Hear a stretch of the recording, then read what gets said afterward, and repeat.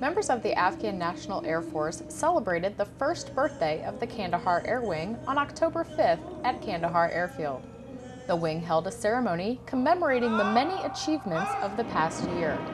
The Afghan Air Force commander, Major General Dawran, is very pleased with the progress of the Air Wing thus far. We also will try for the development of the Air, um, ANA Air Force for the future because uh, we need to have a strong Air Force for the um, uh, defense of our country and for the um, follow the purpose of the uh, security.